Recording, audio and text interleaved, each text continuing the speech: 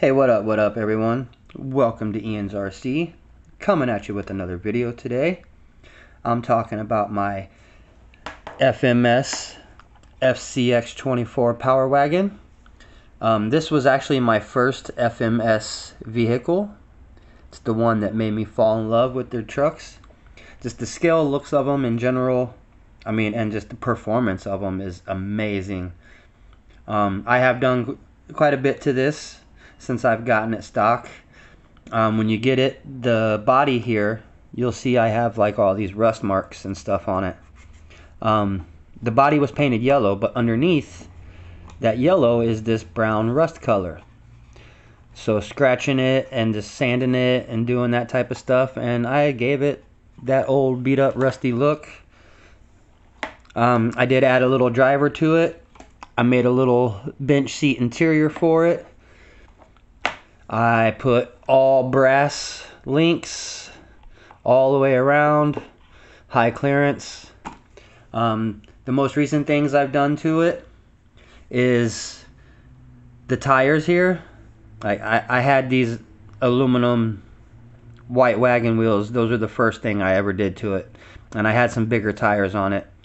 Um, if you follow the channel, then you've seen my video with the Rochobby Firehorse, the little red Jeep, I had put these tires, I had got these tires originally for that.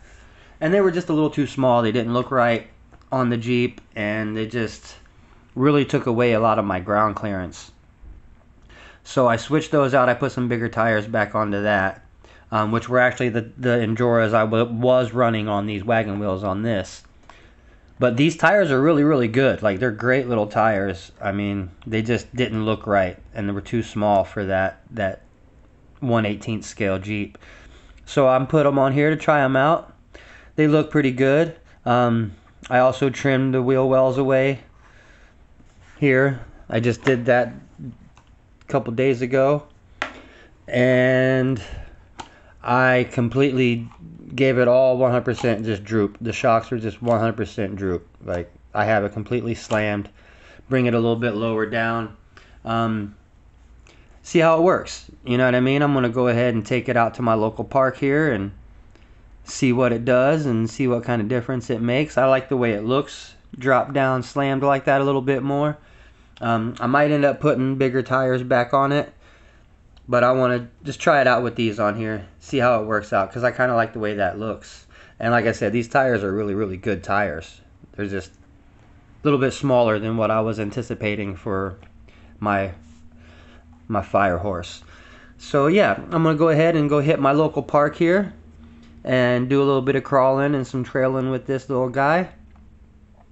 And I hope you guys enjoy the rest of the video. Um, this is your first time here, you know, welcome. I'm glad you stopped by to check it out. Uh, go ahead and hit that subscribe button and like and turn on that notification bell so you'll know when I post new videos. And to all of you that have already subscribed, I'm almost at that 300 mark. I can't believe it. Like I didn't think I'd actually go that far with this.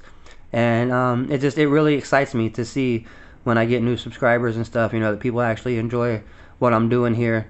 And uh, yeah, so just want to thank all y'all again and enjoy the video. This is Ian's RC.